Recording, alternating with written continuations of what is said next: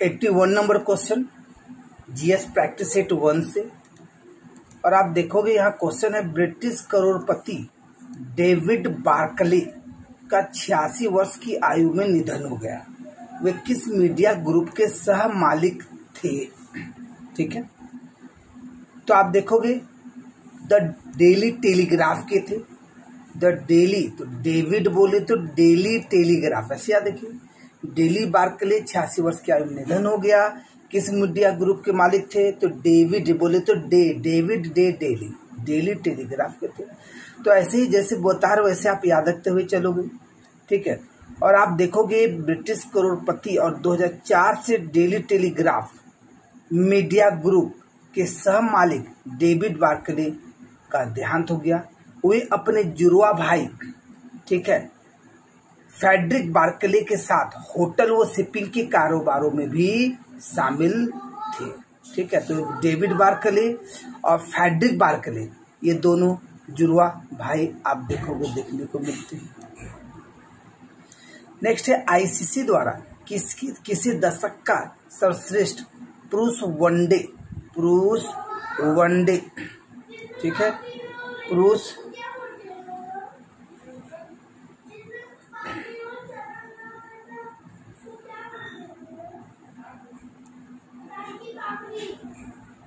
ठीक है?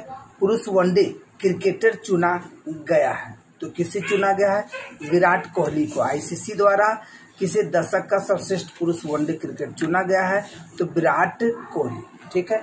Next Forbes की 2020 की सौ सबसे ज़्यादा कमाई करने वाली हस्तियों की सूची में 590 प्लस 590 मिलियन आय के साथ शीर्ष पर कौन है? ठीक है? तो आप देखोगे काइली जेनर है। याद रखिए, फिर से समझिए, फोर्ब्स की 2020 की सौ सबसे ज़्यादा कमाई करने वाले हस्तियों में इनका नाम, काइली जेनर का नाम देखने को मिल रहा है, ठीक है? जो कि आप देखोगे 590 मिलियन डॉलर आय के साथ ये शीर्ष पर है। किस देश की सेना ने स्वदेशी रूप से विकसित guided multi launch rocket system Fatah one का सफल उड़ान परीक्षण पूरा किया है। ठीक है? तो किस देश की सेना ने स्वदेशी रूप से विकसित guided multi launch rocket system Fatah one का सफल उड़ान परीक्षण पूरा किया है? तो पाकिस्तान तो पफ बोल के याद रख लीजिए। पफ बोल के फतह वन का सफल उड़ान परीक्षण पूरा किसने किया? तो पफ बोले तो पाकिस्तान। याद रखिए कि कहा जा रहा है कि जनवरी 2021 को, ठीक है, पाकिस्तान की सेना ने स्वदेशी रूप से विकसित guided multi launch rocket system Fatah one का सफल परीक्षण किया। यह 140 किलोमीटर की दूरी मार करने में सक्षम है।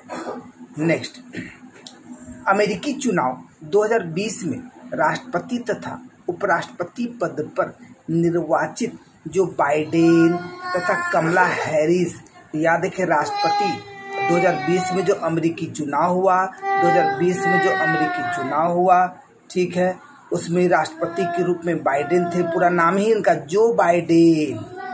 और उपराष्ट्रपति कमला हैरिस, ये किस पार्टी के उम्मीदवार थे, आंसर दीजिए। तो ये किस पार्टी से हैं? तो डेमोक्रेटिक पार्टी से। याद रखिए 2020 में अमेरिकी चुनाव में जो राष्ट्रपति, उपराष्ट्रपति चुने गए तो राष्ट्रपति जो बाइडेन और उपराष्ट्रपति कमला हैरिस। निम्न में से कौन सा मानव अधिकार भारतीय संविधान के अंतर्गत मौलिक अधिकार भी है? ठीक है? मानव अधिकार भारतीय संविधान के अंतर्गत मौलिक अधिकार भी है। तो शिक्षा का अधिकार, ठीक है? शिक्षा का अधिकार की अगर बात करें तो भारतीय संसद द्वारा छियासीवा संशोधन के द्वारा अनुच्छेद, बोले तो आर्टिकल 21 में संशोधन करके 21 ए जोड़ा गया।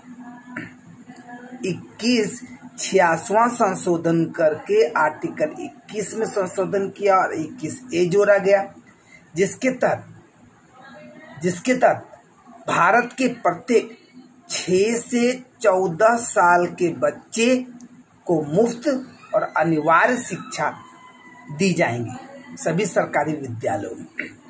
और निजी शिक्षा संस्थान अपने यहाँ कुल सीटों का, याद रखें सरकारी स्कूलों में तो फुल्ली फ्री दिए जाएँगे, लेकिन अगर कोई निजी संस्था है तो उसमें आप देखोगे 25 परसेंट, पच्चीस परसेंट निर्धन बच्चों को मुफ़्त शिक्षा प्रदान करेंगे, ठीक है?